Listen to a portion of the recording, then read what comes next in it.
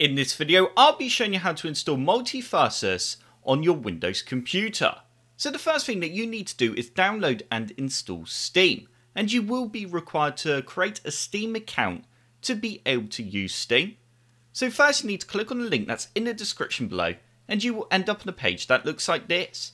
Once you're on this page, you now need to click on Install Steam in the top corner and you then need to select Install Steam again. It will then download the setup file. We need to run this setup file and you then need to go next and you now need to select your language and then press next again and choose where you'd like to install Steam.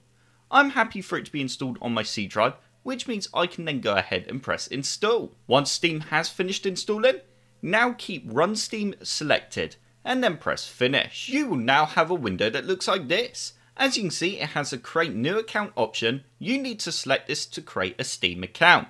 If you do already have a Steam account, then you can click on log into an existing account. Once you have created an account, go ahead and select this option. And you then need to type in your Steam account name and then the password. You may also have to go onto your email account that's linked to your Steam just to verify that it is you that's signing into Steam. I'm going to sign into my account now.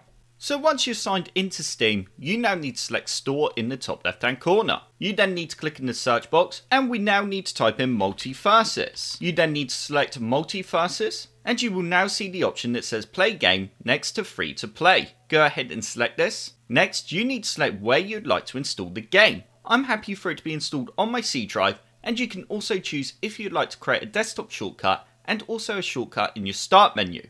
Once you're happy, press next. You can now go ahead and press finish, and if you open up Steam again, and then select downloading at the very bottom, you will then see that the game is currently downloading and installing. Once the game has finished installing, you will then be able to go onto your library at the top, and you will then be able to search your games list if you do have lots of games in here already, but if you don't, you will then just see the game in your list, and you will be able to select it and press play.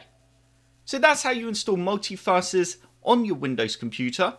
I hope this video helped you out and you enjoyed it. If you did like the video, click the like button below. And if you'd like to see more computer sluggish videos, then click that subscribe button. If you do subscribe, then I will see you in the next video.